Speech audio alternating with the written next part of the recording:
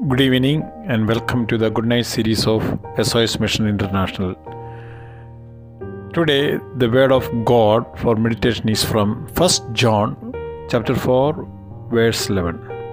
Beloved, if God so loved us, we ought also to love one another.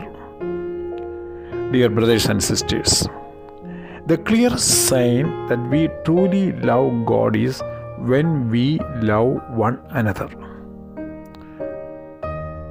As Christians, we are called to be loving towards our brothers and sisters in Christ because our bond is what strengthens our faith. Please remember, our bond is what strengthens our faith. We cannot afford to accommodate any strife or division because the enemy will be quick to take advantage of such things. Let's pray.